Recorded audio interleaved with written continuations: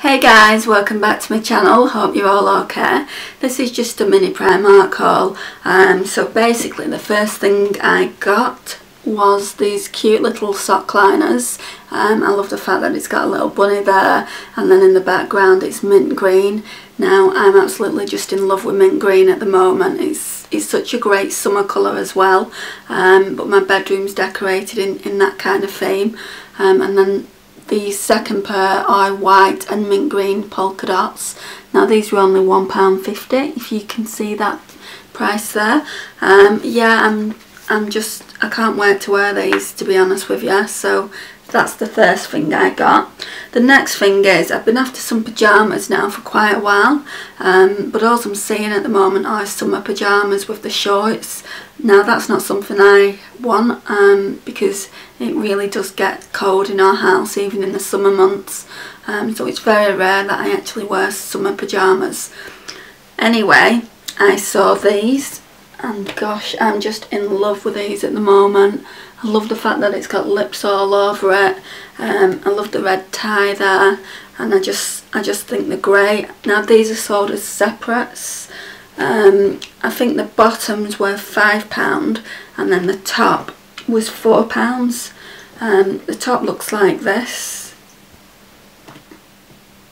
and it says kiss me goodnight on it um, love the top as well, it's such a great contrast of colours. Um, I've worn these already, so they need, they need to go in the wash. Um, but yeah, I just wanted to show you what I got there. Um, and then the last things that I got was this lovely, lovely, I'm just in love with this as well, necklace. I mean, I'm used to seeing curb necklaces like that, but I've never seen anything dangling down. And I just love tigers or tiger print. Um, and you get like, I think it's five, yeah, you get five little tigers and then that big, four little tigers and that big one there. Um, loving that. And then there's this t-shirt that I'm wearing. Don't know if you'll be able to see it properly and it says never too sweet. And then in the background it's got cupcakes all over it. Now the necklace was um, four pounds and the t-shirt were three pounds. I didn't go in for any t-shirts but at three pounds you know you can't really say no. Um, so yeah that was everything that I got from Primark this time.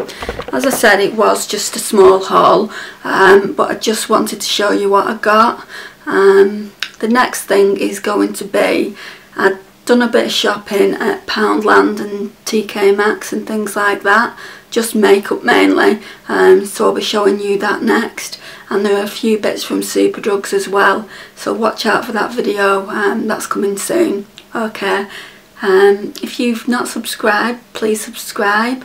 Um, please leave any comments down below, I really do look forward to reading them. Um, and yeah, that's it for now. I'll see you in the next one. Bye for now.